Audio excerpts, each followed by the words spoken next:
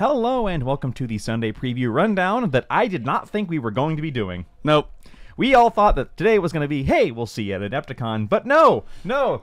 The the GW train has no brakes. It can't even slow down for the most important minis convention of the year. Yeah, the the guys that are going to Adepticon are not the guys that did the schedule. We'll all walk together when we go. I don't know the song. It's all when we all go together when we go. Anyway, it's about nuclear warfare. This is not. This is not. So there are two releases, one of which I could not be less interested in, and one of which is targeted against me personally. Yes. We'll start with the former. Old World, Part 3, Yeah, the Orcs and Goblins release. or Part 2 if you consider Bretonnians and Uh, Tomb would say Kings Part 1. I would say three. Okay, so th- third faction for Old World. Yeah. Now, they've already released that the list of all the factions that are going to get full re-releases and those that aren't. Mm-hmm. I was not expecting this this soon. Yeah, they did announce that Orcs was next, but yeah, I did not expect it before Adepticon, especially. So, kind of like Bretonnians and Tomb Kings, Wave 1 is all re releases with mm-hmm. a couple recasts. Yeah. Because there's a couple things. So, the Orcs and Goblin Tribes Battalion, this is like your this is your army box, mm-hmm. basically. 31 Orc Boys, 31. Ugh, Warhammer was weird. 40 Goblins, 40 Orc Boar Chariots, and a bunch of new transfer sheets. Cool. For their for their banners and such. These are plastic. Yeah. So this is all plastic. Yep. Old old school plastic stuff. Not plastic is this Black Orc Big Boss. He's forged resin. And he looks really good. This model holds up. Is this is this not new? Is this a is this a remake or is this No, this is new imposing new character? character in Cloud. Okay, so this is the equivalent of. Uh, So he doesn't hold up. He's just cool. He's just he's just good. well, I mean, he holds up from the five minutes that I learned about him. That's true. so great new character. You can tell now that I look at it. It's like, wow, this was really good. Must have been late. No, this is just a brand new sculpt. I mean, if they release that in in Sigmar, I'm sure I'm sure people will use it in Sigmar. Yep. that looks good. But he is resin. He is resin, So which is a downside.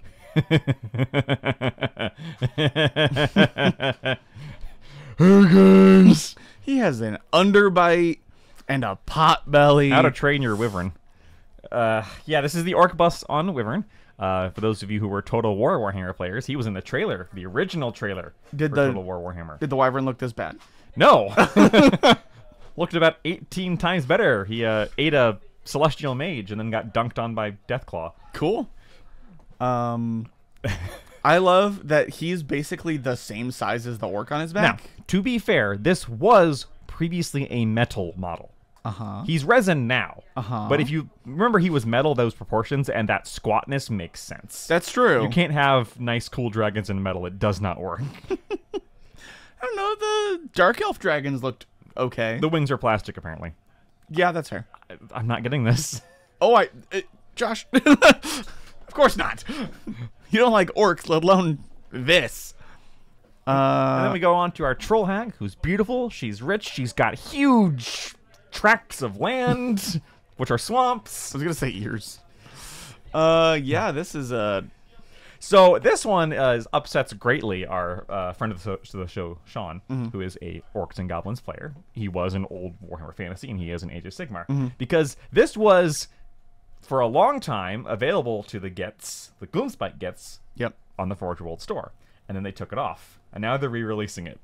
yep, just for old world. Forge World Resin, not getting re-rules in Age of Sigmar. Holds up well. I mean, it's a decent sculpt because it's not that old. Yeah. It's going to be more expensive than it was when they pulled it off. Oh my god. And that's got that's got to be what a like a fifty mil. 60 Yep, mil? yep. That's gonna be expensive. Orc and Night Goblin command sets. These were also originally on the Forge World for uh, Gloomspite Gitz before they were pulled off and then put back. So I'm seeing with some of these re-releases how Forge World used to be the premium Mm-hmm. because the even the old resculpts of the Forge World stuff looks really good Compared to the old plastics. compared to the old plastic. Yes. But now plastic has surpassed Forge World in their Now like, Forge. World is just the we don't want to pay Yeah. to put that into thermoplastic, Right.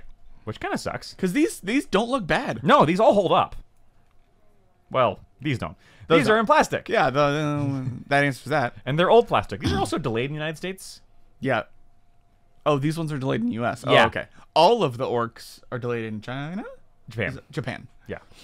And then Oh my god, the classic. So you thought the last ones looked old? These are racist, but I don't know how. I just know that they are somehow. Yep.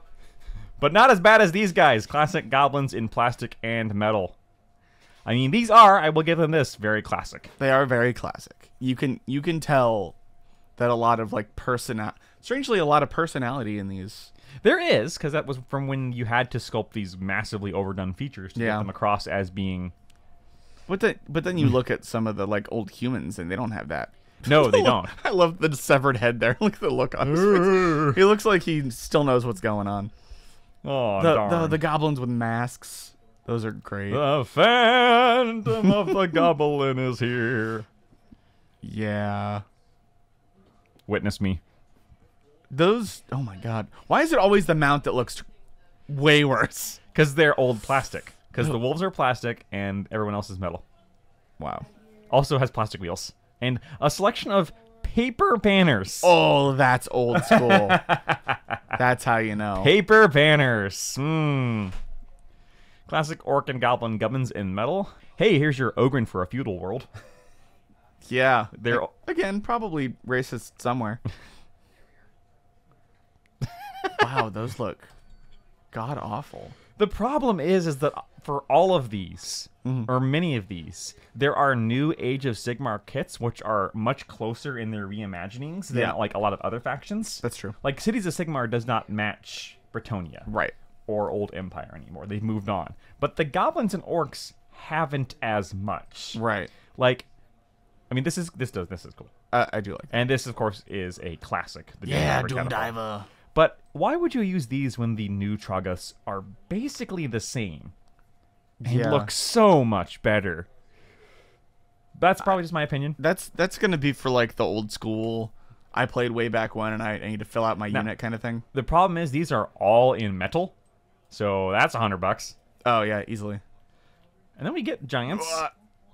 God, I hate that model. These are resin. I like the guy cowering here. Yep. Best part about him. Uh, it's big, cause that's a what fifty by hundred. That's like a cavalry base. Dude is tall. One of the largest miniatures in the old world. but he doesn't look good. Nope. He looks like you just upset your uncle at the Thanksgiving meal, and he's I don't know picked up his spoon. and He's gonna get you with it. Your Thanksgivings must be terrifying. Yeah, yeah, they are. And of course, it wouldn't be a Warhammer game if we didn't put half of these models in a different book that you had to buy. In this case, the Arcane Journal Orc and Goblin Tribes. Yeah, it's- Because they released the rules for free. yeah. Well, no, no, no, not for orcs and goblins. Not for they're orcs in, and goblins. They're Oh. in the book that already came out. Oh, they're in the book that already came out. Yeah. Right. The Ravening Hordes, are But not all of them. Not all of them. Some of them are in here. It's such a shame. Yeah, arcane journals. I don't understand them. I do. Sell more books. I mean, yeah, fair. And then you've got your requisite tribes, Your Christmas dice. dice. And yeah, those aren't very good. And cards. If they were just like green with white pips, that would be fine. If it was a less saturated green. yeah. But Yeah. Why are they red? I don't get that. because then they would just be. They even put them in the old tubes. It's like they know. Yeah, they do. And yet, that's not enough. It is not enough. So we've got the next Horus Heresy campaign book, the Battle for Beta Garmin. Isn't that a Digimon? Beta Garmon, probably. It's a campaign supplement.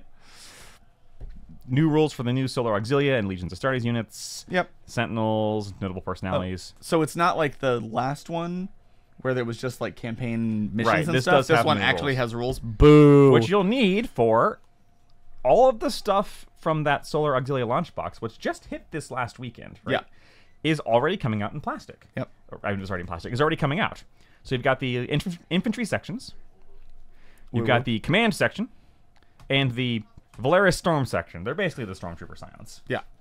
With diving helmets. You're slightly more elite. We talked about these when these were all previewed. I like these models. I don't love them, but I like them. Yeah, I like them. I, if if I were to build guard right now, it would either be Death Korps or these guys. Yes. They look they look good.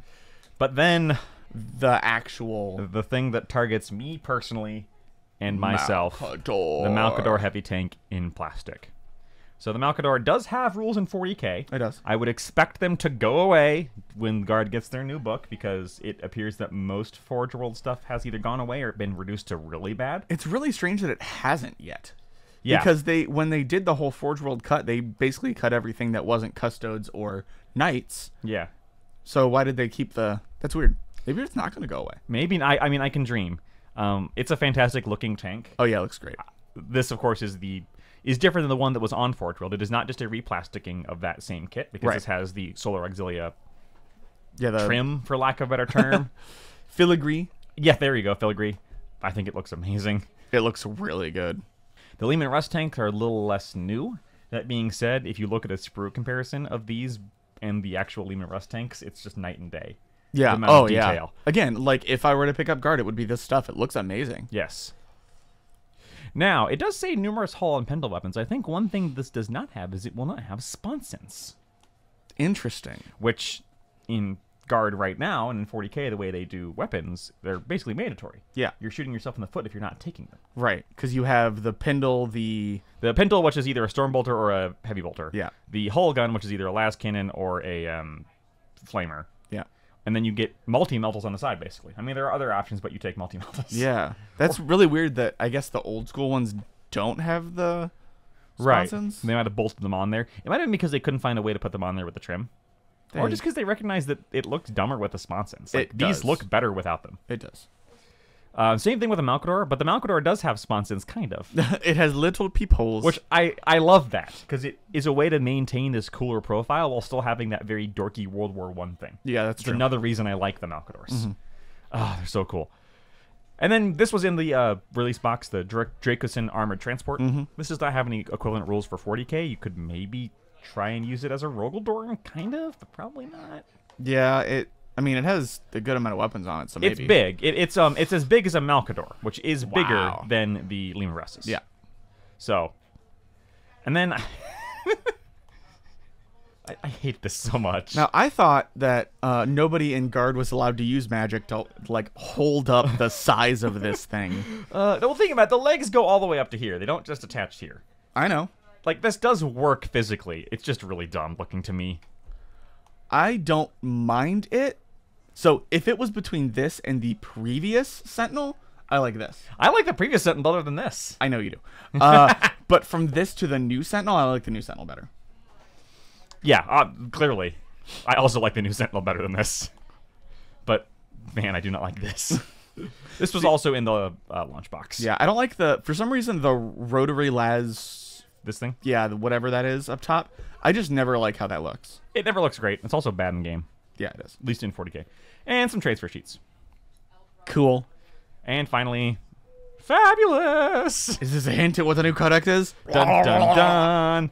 And that's it for next week. So God help you if you're somebody who likes both of this releases because your wallet just got shot. God help you if you like any of this and you're at Adepticon. Right, that's my problem because I want some of those tanks, but I'll be at Adepticon. Yep. Speaking of which, if you're coming in Adepticon, come find me and get absolutely nothing for free except a handshake. I mean, My face that's isn't pretty in this video, so if you had no idea what I look like either, which is funny. Don't look at any other. Wait, do look at our other videos to find out what Josh looks like. Follow the melodious sound of my voice.